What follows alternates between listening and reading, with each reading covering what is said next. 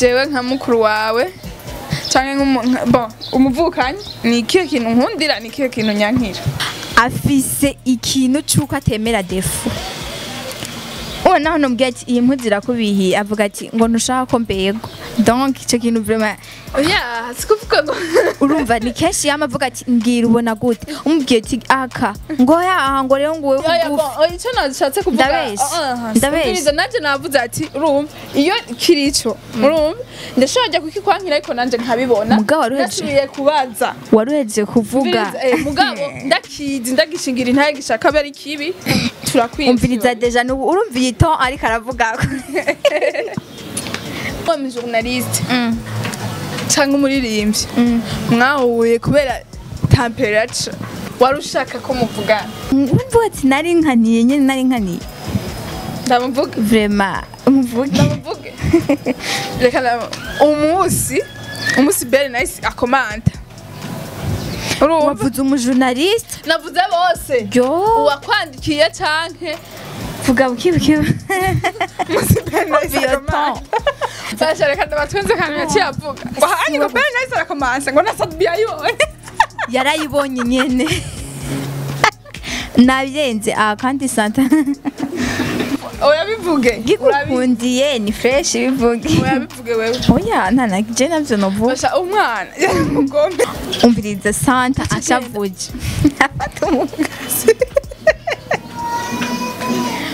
anshavuje tugashwana naca mfata wanu mukasi impuzu yiwe Ona kajya gahuzu urabitsa apana zigamenyereye kwa bara kajya nabitsa ngasanga yakaze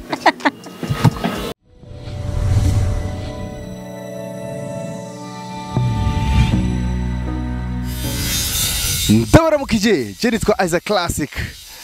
Ebana eh, hari televiziyo nshasha yuguruwe. Igiye kuza irerekana ibikorwa byanjye bishasha. Ariko ibikorwa byanjye bishasha bigira bitangire kuza biraca kuri iyo televiziyo. Ariko iracyari hasi by the way iracyafise ababone bake. Ndasabye rero yuko tugenda faster mu kwezi kumwe gusa. Ndasubiyemo mu kwezi kumwe gusa tube tumaze gushikana ababone igihumbi. Tube tumaze kwiyandikisha kuri iyi televiziyo. Furaha tv kabiri gatanu indwi. Tumaze tukwi- tukwiriye gusa igihumbi. Hari ikintu ariyo surprise yiwanje shasha ndabafitiye ngira ndabashire ngaho kuri furaha tv ce ni Isaac Classic nemeye n'umutima wanje wose gushikira furaha tv kabiri gatanu indwi. Andika uko nyene kuri youtube furaha tv Fura, mu giswahili uko nyene furaha tv kabiri gatanu indwi. Furaha tv 257 hama uce wiyandikisha logo cuyibona ngaho wiyandikisha hajya bo entre temps urasha urakura abona ibiganiro by'abajene ari umujene yitwa Karim n'abandi n'abandi bariko bacisha ibiganiro vyiza vyiza hajya a ku mwanya ku mwanya. Ebana ni ukuri kuracerwa sana rero. Nago- ndasubiyemwo mu nyuma ukwezi kumwe gusa gukwiriye tumaze gukwira ababone igihumbi barenga. Fasta fasta fasta hari ikorwa gishasha ca Isaac Classic gire guza gicaga kuri Furaha TV cewe neme gushikira wewe rero nawe nkunda jewe tuje gushikira Furaha TV na Isaac TV shikira Furaha TV twese dutere imbere.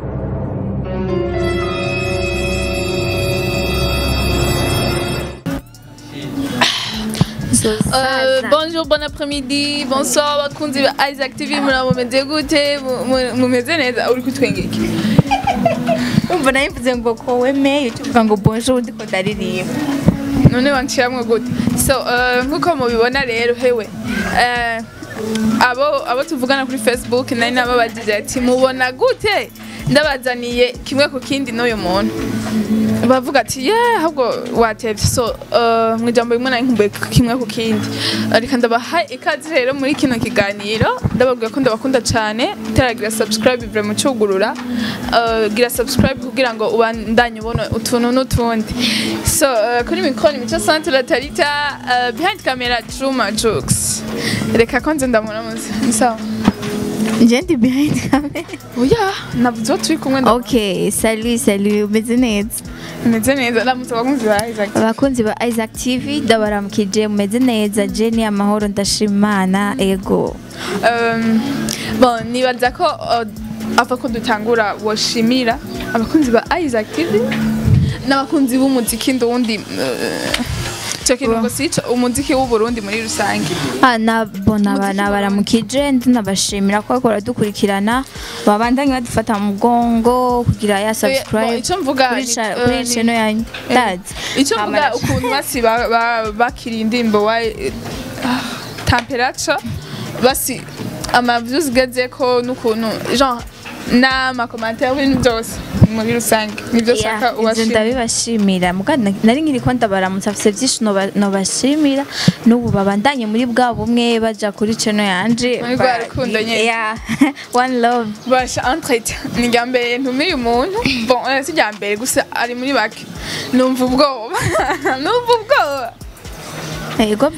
Ndeka duta- nda- ndakora ko utangura oya tangura. We kandi urambaza n'ikibazo c'amatsiko.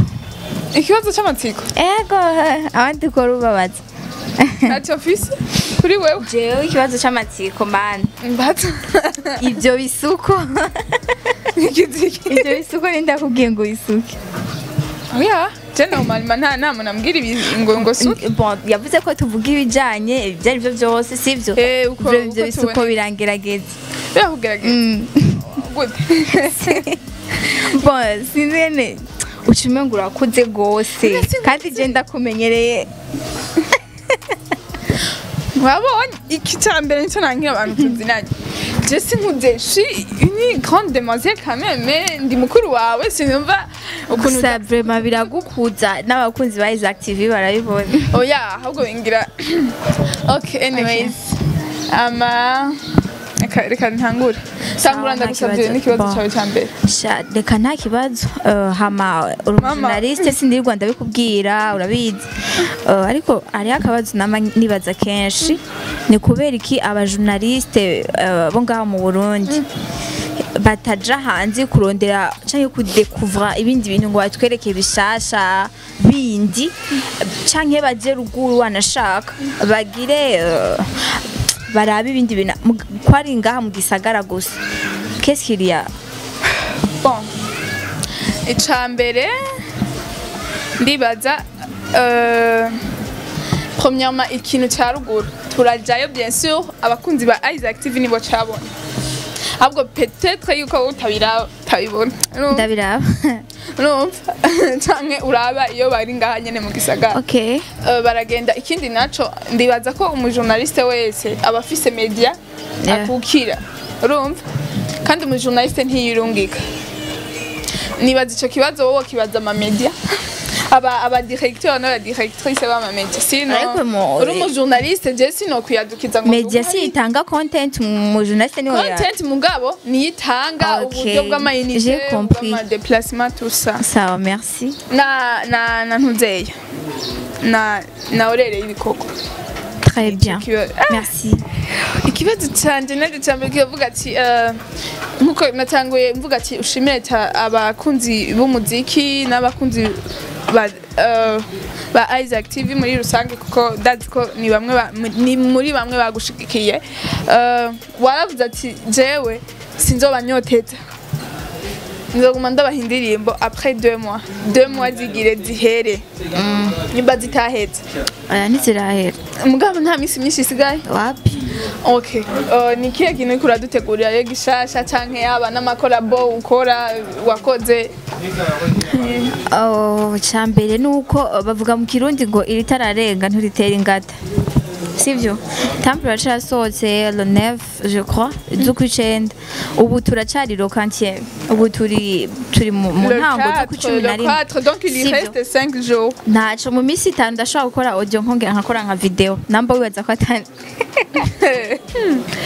so ibikorwa birahari kandi vraiment mugiye kubibona kamwe gusa kari mu bikorwa byawe ibikorwa nakoze jenyene n'ibindi bikorwa ndi kumwe n'abandi baririmbyi ego. Byose urumva bizosohoka mwizi mwi- après i deux mois ah nawe ariko ndabura ijisho okay ikibazo cyawe gira kabiri okay ikibazo canje santa ndashaka kubaza kuva uza muri muri Isaac TV ni ikihe kintu mu buryo buboneka namba ari boutique namba ari salon namba ari iki ni ikihe kintu umaze gukuramo uvuga ati aya mahera nayakuye muri Isaac TV Euh, si kuvuga ngo amfite umuntu wese afise eh, ibintu aba ariko arakora yeah of course. Jewe nta nta maproje yo kuvuga ngo amabutike canke ngiriki Eh, ndi ku kazi. Je ndiko mvuga ibintu biboneka. Vuga ati, Umviriza, "Man." ndi ku kazi. Eh, ndi ku kazi. Kandi niga urumva? Kugira ngo kandi ndi muri communication donc ni domaine imwe imwe iyo ni domaine imwe. Naho woba wirihira ishure nta kibazo. Donc aya mahera nta ubu uyu nta maproje ariko proje mfise si kuvuga ngo ni proje niyo kubanza guheza kwanza. Mbe mfise experience professionnelle ni na- ni ni ntuze ni ah donc ushaka kuvuga ngo muri Eyes Active ni ho nkura déplacement yo kuja ku ishure ni ho nkura amasirabisi ni ho nkura ibyo fungura ni ho nkura n'amahera y'ishuri icyo ufungura isi? Yego mahera nari sifungura mu ijoro jewe urambona saa sita ndahafungura. Iyo. Arabivuze byose sawa. Ubwo uvuge ko muri Isaac TV batabagaburira saa sita.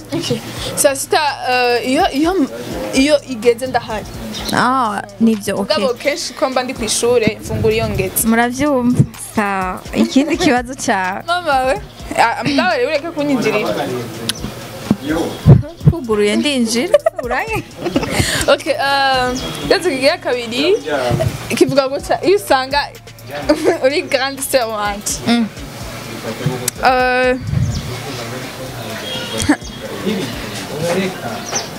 bon ni kihe kintu ngira wari kunyaniza uvuga ati no no no no no. Arrête arrête.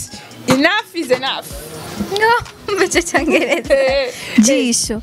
Okay umviriza muco jewe ikintu nari kukubuza iyo ni de umva ni Eh, hari ana okay Na B. ntaco baza ben ndabibyishurira rimwe Eh, iyo rero kandi usanga uri grande sœur wanje ni ni iyihe avantage wari kuba ufise canke ni iyihe desavantage canke inconvenient canke that sawa. Bon icambere nuko mba mutoyi wawe. Mba mukuru wawe. Icyo ndakubuza cyose nika kukikubuza ivyo urabizi. Sibyo? Eh. Mugabo vrema vrema ari ikintu kigwa nabi. Iyo uriko urashwanira rero iyo mba grandse wawe jewe nije nari Sinari kugukora. eh. Bawatubwira ziba oya nabwira ati mana yanje umviriza urazi ibintu je nabonye je nari kubwira ko nabonye ni as Vyinshi. Mm. aciye mu tikuru uzobona yego hama rero avantage ni uko nari kuba ndi mukuru wawe nyene kuba mukuru biraryoshe eh. Eh, biraryoshe mhm. Ata muvyeyi n'umuhari bose baca bazura amaso. Ati wewe? None ntubizi nk'ubu basize nk'amahera agasigara bavuga ati yatwara Eh, eh, Eh. ah, donc kuzuracora wapi ntucora oya baribwiriza baribwiriza ugiye gusoma eh? wapi ibyo ibyo si byo abantu bakijije.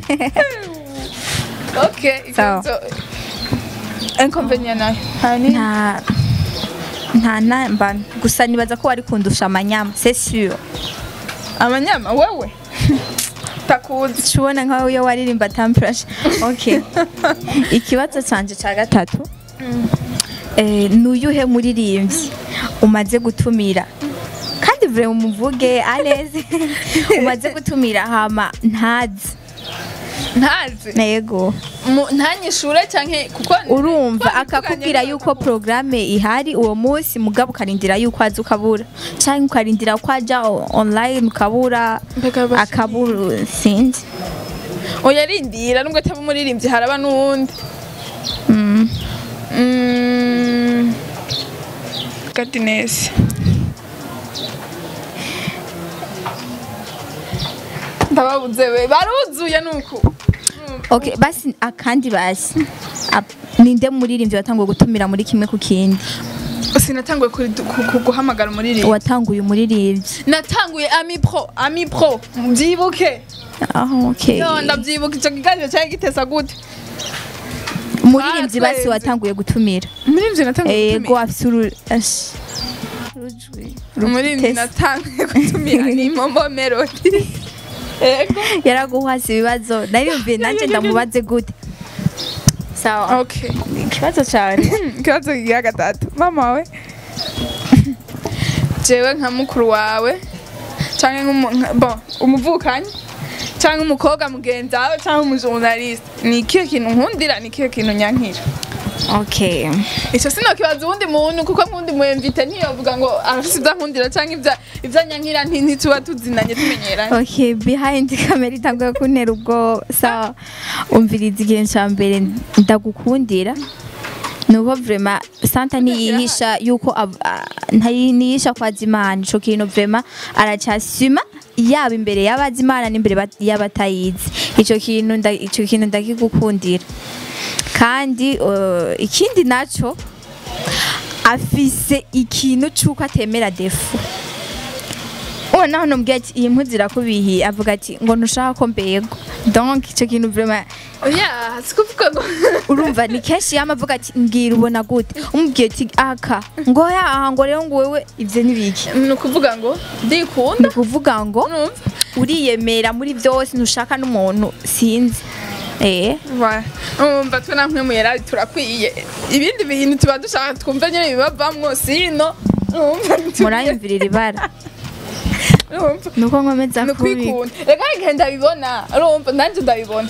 Mbwa since nemera nsarike kameme? Nkaca nza kubikosora je Ah, gusa umuntu umuntu umuntu agende agendeshwa na mpemu yera yemerera gutsindwa.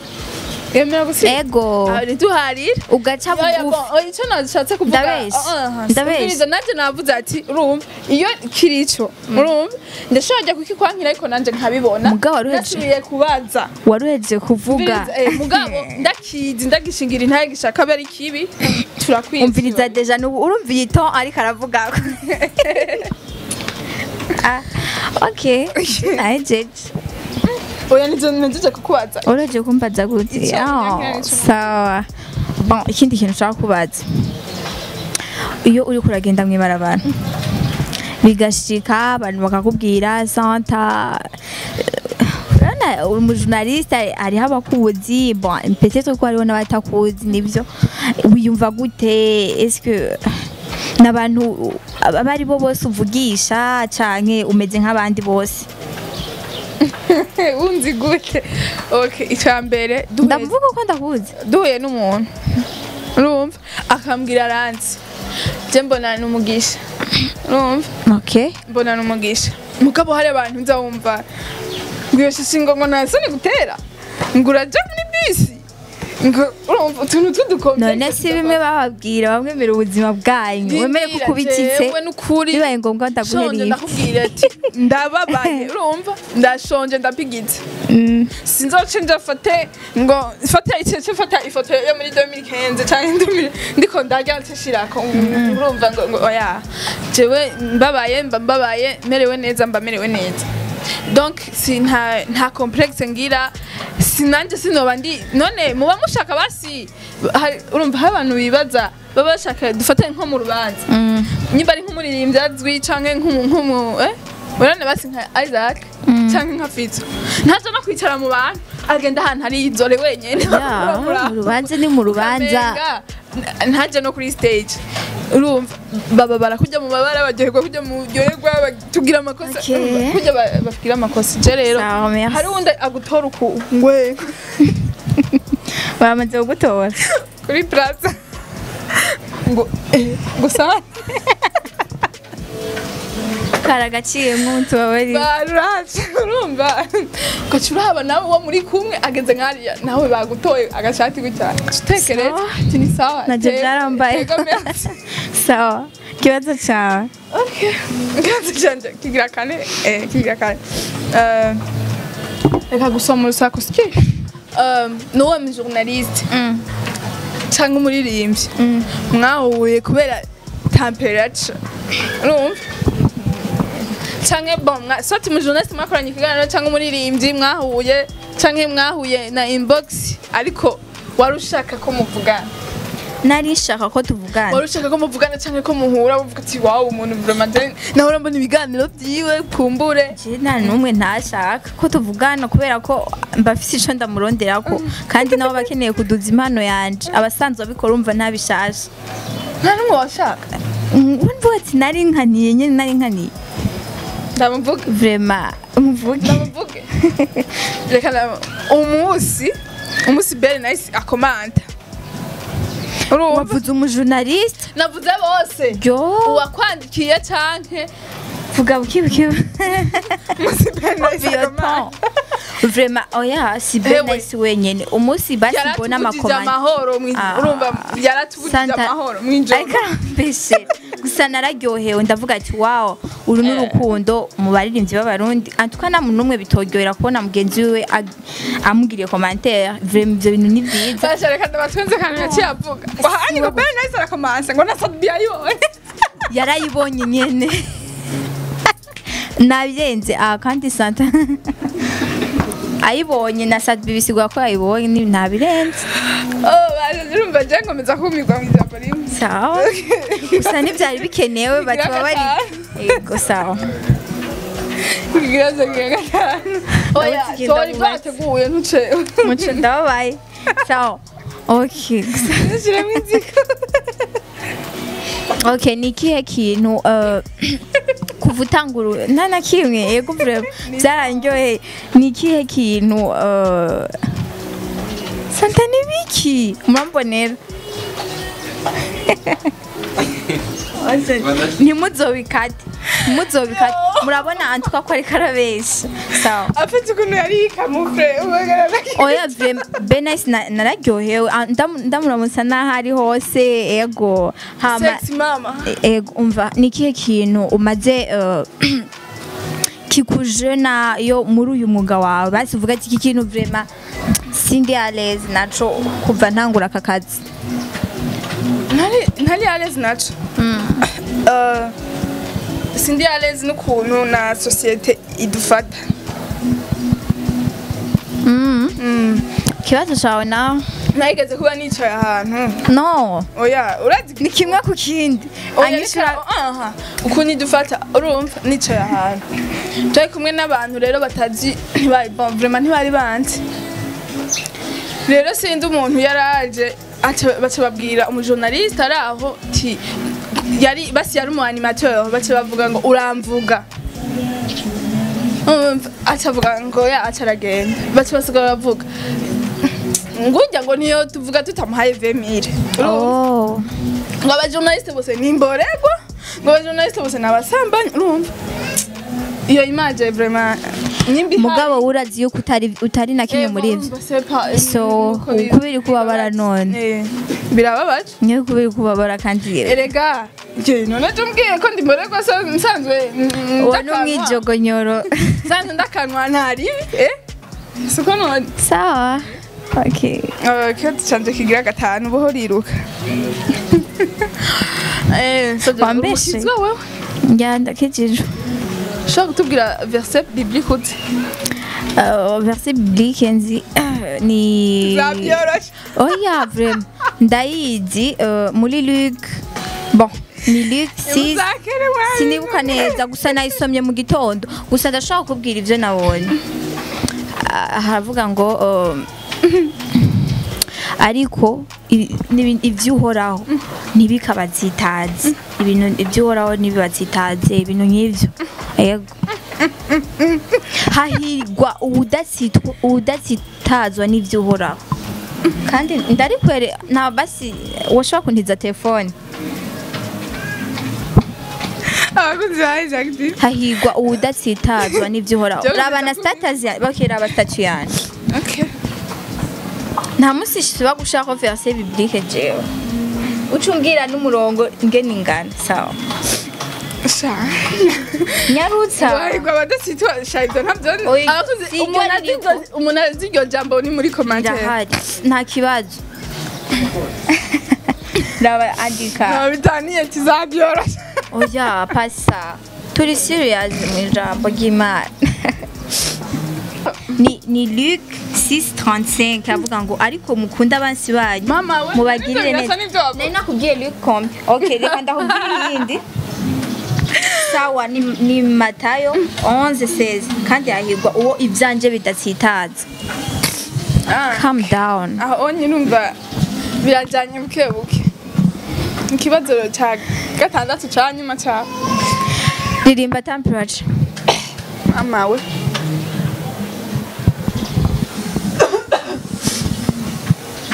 we ndabahera donc waje gukorana n'umuntu utazi ubu ngubu mfise temperature. Igira hano tuganire muta. Ntugire ubwoba oya ntiburaca. Esa kobelo. Eh, ubanza turi no mu bucacaca. Ey. temptation temptation mfise temptation. Temptation temptation mfise temptation. Menga ndi kuri stage uri muganga hari ibintu aba- nanje ndi umugwayi so now you are doctor.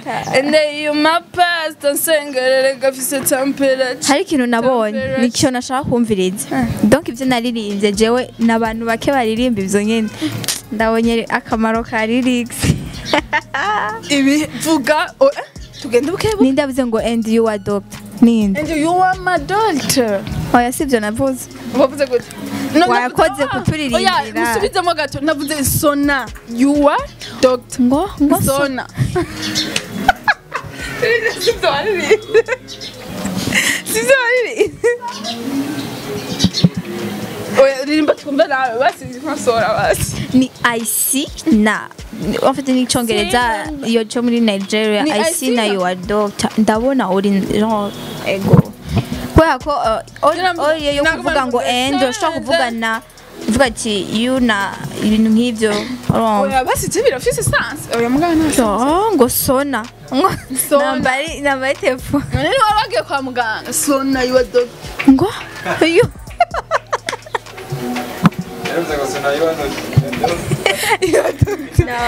nari numvise ngo sona diwani Okay, Imana ishimwe ko n'ibibazo biheze kitagiyemo. murakoze cyane ndaryohewe. Ikibazo cyane. wahejeje Ah, Ah, bitanu si watanguye. Eh, Turasubiye rero mu bwana. Vuga ikintu wigeze kungirira. Urumva kibabaje tukiri bato. Mbwa kandi gitwengeje. Wasa ndakivuga. umviriza santa je ndakubwiye ntabyo nibuka namba Nta na hamwe wibuka. Nta na kamwe. icyo nibuka sinakivuga ngaha Ni histori nk'utu ariko umva ibintu byo kugira ngaha kuri kamera Vuga. hari ubuzima badakeneye kumenya. Sawa oyabivuge gikukundiye ni fresh bivuge. Oyabivuge wewe oya nta na je navyo novuga umwana. Mugombe. Dushwanye. Hakuno twashwana nyene tubakabwira abasi ndayivuge ntumbeshere umviriza santa ashavuje afata umugozi anshavuje tugashwana naca mfata wani umukasi impuzu yiwe ona kajya gahuzu urabitsa apana zigamenyereye kwa bara kajya nabitsa ngasanga yakaze nukuri yabihevye turusha yabihevye turusha nukuri rero hageze igihe ndamutinya arumva kuko naramukubita urumva naramunesha urushika yo nawe n'abafise umukasi naca mfata nkacamwo kabi nkavuga urashavuje pa aje nza gusanga impuzu yatabuye nkaca nekereza kandi nkemye yari umudayimoni je crois kubera ko nta muzi aya sinaraba ngo niyo gusenga ngo niyo ngo niyo mu rubanza ngo niyahe niyo muhira iyo nshikiye ko naca ntabura iyindi ntabura na yo imaze kumutabura nk'impuzu okay anyways uh, okay twarahejeje ibibazo nta kindi kibazo ufise epuiza yepuize ibyo byose ufise nimba oya nta kindi ufise ndaguhaye chance yanyu oya okay. Uh, narije nta kibazo mfise atwa uh, uyu mugabo ndakeneye uh, entre cyane ubwo un- twakumenye ku ndirimbo ya temperature uh, wari usanzwe ukurikirana umuziki ne Uh, temperature naye kuririmbiye aho ari kugira akapera nahagize. Nta so tugire nawe gatoyi. Indirimbo y'uwukunda swate mu za kera swate mu zubu swate umuririnzi ukunda. Iyo muririmvyi nkunda je nta muririmvyi n'umwe ntakunda Eh, ikunda basi indirimbo ukunda wewe Eh, madamu gusa vuga basi iyo ushaka wewe. Cinda guha ibintu bikaze nta muririmbyi adakaze ngaha mu burundi mvuga ndaguhiza kukunanira I mean. Oya nta kibazo. Uru aka kagira kaniraba nk'ubu. Iyo wawe nayikugiriye nasabye rero iyo uwundi. Iyo uwundi. Okay. You forgive me, forgive me, forgive me. No, you forgive me, forgive me, forgive me. nonako oya Nawe wavuze forgive me. Niyo ni. Nirindi uzi ndazi uramukunda none ni eh inakuwa. Ririmba basi ya Esther nishe imyenda gusaza maze kuririmba kenshi vuga indirimbo ushaka Ah, wabonye ibi bintu umbasha mwabonye. Eh, nduzi iyo nzi jewe iyo shaka usanga atayazi vomye witorere wewe. Santa urabona ko rero ari nyinshi cyambura niyo ntora Ah, ah. okay ni byo turirimbiye.